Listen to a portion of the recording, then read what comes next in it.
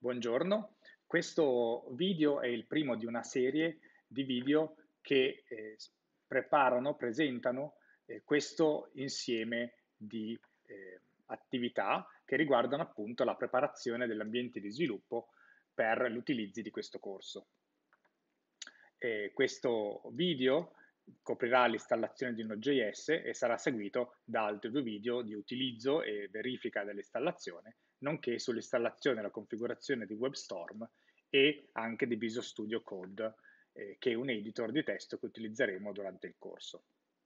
Queste serie di video seguono eh, ed espandono in un certo senso il, questo set di slide che è già linkato in questo guida PDF all'interno della pagina del corso su DIR.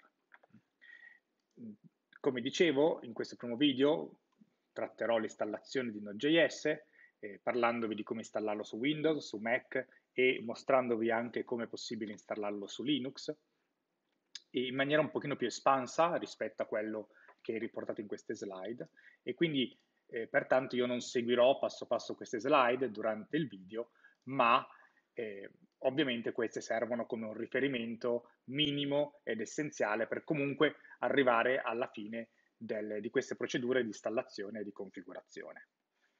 Quindi, prima di tutto, eh, la prima cosa che ci serve appunto da installare è Node.js.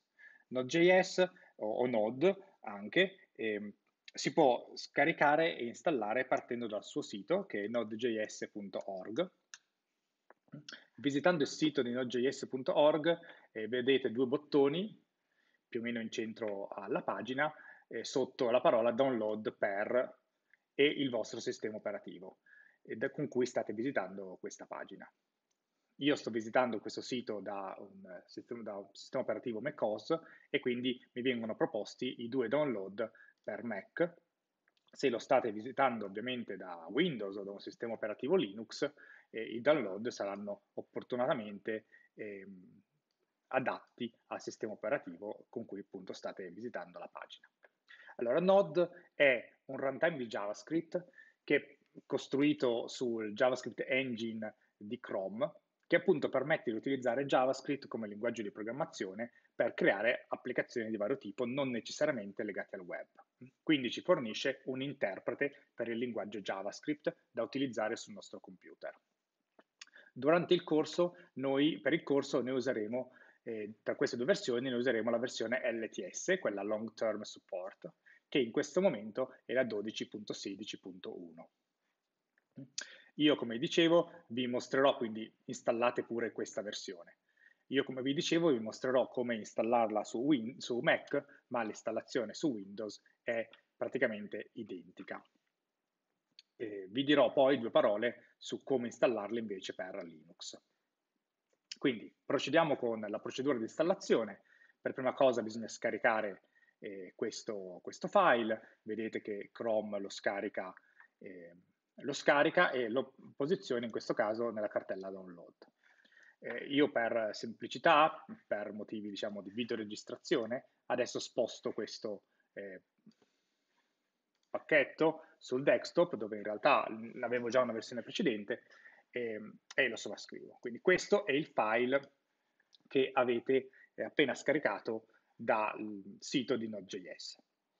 Eh, facendo doppio clic sopra eh, Mac in questo caso vi dice che non può aprire il, il file perché non è firmato correttamente, eh, secondo lui, eh, ma per ovviare a questo problema vi basta premere col tasto destro, scegliere apri con installer, che comunque è il software che lo aprirebbe di default, e nella nuova finestra che appare ci sarà un bottone apri appunto per poter aprire e iniziare la procedura di installazione. Sotto Windows questo non capita, vi potrà invece chiedere i permessi di amministratore per poter installare il software sul computer.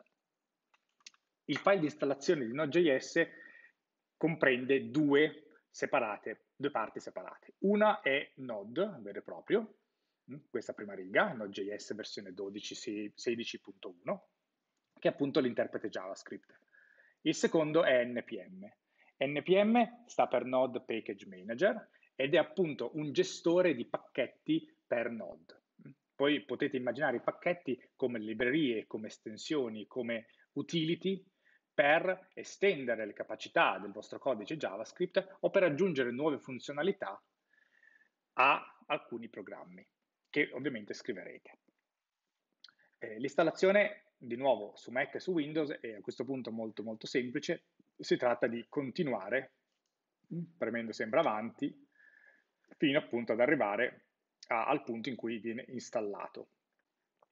E c'è ovviamente la possibilità di personalizzare l'installazione e quindi rimuovere, per esempio, Node o NPM dall'installazione. Ripeto, nel nostro caso noi abbiamo bisogno di entrambi. Quindi alla fine dell'installazione voi dovrete avere sul vostro computer Node versione 12.16.1 e NPM versione 6.13.4 se lo installate in questo momento. Se lo installate nel momento successivo a questo video, per cui le versioni di Node non è più la 12.16.1 ma è, è una versione successiva, va bene uguale, l'importante è che sia una versione LTS e non l'altra versione.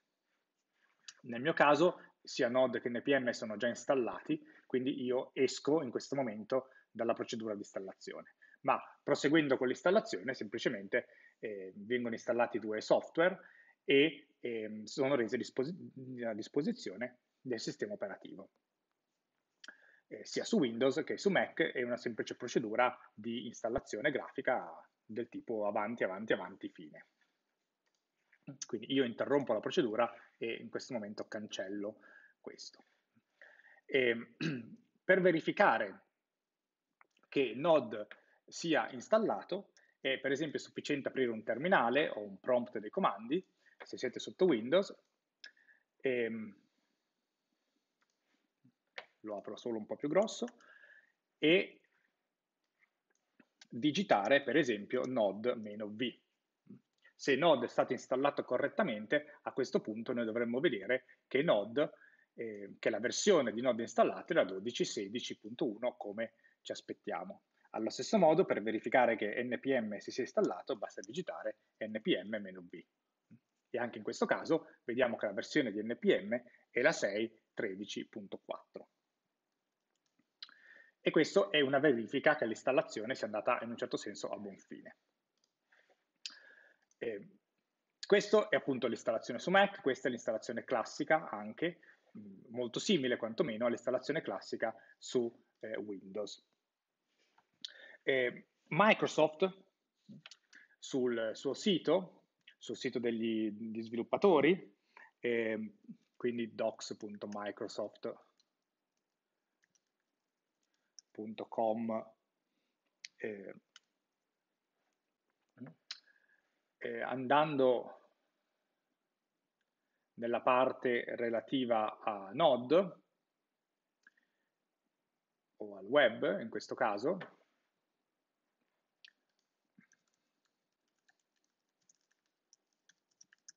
fatemela cercare da, da Chrome, eccolo qui, setup Node.js on Windows, vi, vi, vi, fornisce la stessa procedura, vedete che invece di c'è comunque un il pacchetto che si può scaricare da, da Node e installarlo con avanti avanti avanti, esattamente, ma vi, eh, vi dà questo suggerimento ulteriore. Vi dice che usare Node su Windows va benissimo per imparare ed sperimentare con quello che si può fare, ma la maggior parte delle applicazioni web eh, in produzione, quindi su internet, disponibili, funzionanti, pubbliche, diciamo così, sono tipicamente rilasciati su un server Linux based e quindi Microsoft stessa raccomanda di utilizzare il Windows Subsystem for Linux versione 2 per realizzare le applicazioni Node eh, web. In questo modo, loro dicono, eh, è più facile e più consistente avere l'ambiente di, di, sviluppo, svilupp- con cui sviluppate, eh, con l'ambiente di produzione con cui le applicazioni sono in realtà eh, rilasciate. Al fine del corso va benissimo se voi lo installate su Windows, ma se avete la possibilità, eh, qui su questo stesso sito che è linkato nelle slide del corso, ma che è docs.microsoft.com slash n-us windows node.js setup-on-wsl2, ci sono le istruzioni per abilitare il eh, Windows eh, Subsystem Linux e eh, installare una distribuzione eh, Linux appropriata e installare Node.js e poi utilizzare Node.js all'interno da Windows utilizzando il Node.js installato in, uh, WSL.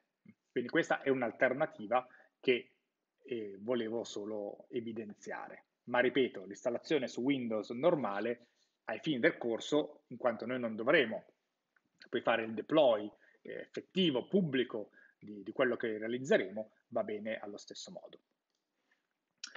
Eh, Infine due parole sull'installazione per Linux. Eh, l'installazione per Linux, se voi andate nella pagina download, trovate l'installer per Windows, l'installer per Mac e poi il source code per Linux. Eh, in realtà, se voi navigate in questo sito, andate su installing Node.js via Package Manager e selezionate una delle distribuzioni Linux che avete a disposizione e per esempio, citiamo il caso di Ubuntu, di Debian, Mint e tutta quella famiglia, oppure Fedora e tutta la famiglia RPM. E il sito vi consiglia di navigare fino a questo sito, a questa pagina, a questo ritmi, e per esempio per installare eh, eh, Node.js e NPM sotto Debian, quindi una di queste qualunque eh, versioni di Ubuntu o Debian o Mint o altre versioni che comunque altri sistemi operativi derivati da Debian vi dà comunque la procedura di installazione che è da terminale fare curl a questo indirizzo e quindi scaricare questo file di installazione e poi installare Node.js. Questa procedura da terminale di due righe è equivalente all'installazione dell'interfaccia grafica che abbiamo appena fatto e come risultato finale ottenete comunque l'installazione di Node.js e di NodePM e di NPM. Quindi queste sono le istruzioni poi per installarlo eh, sotto Linux, eh, sia se avete un sistema basato su Debian, sia se avete un sistema basato su RPM, hm? per cui come vedete le istruzioni è praticamente eh, molto molto simile. CURL di questa stessa cosa e, e poi ovviamente l'installazione seguente. Ma di nuovo l'importante anche in questo caso è che voi installiate Node.js versione 12.x, in questo caso sarà la 12.16.1, perché è la versione di supporto a lungo termine. Nel prossimo video vi mostrerò un utilizzo un pochino meno semplice di Node.js e di NPM.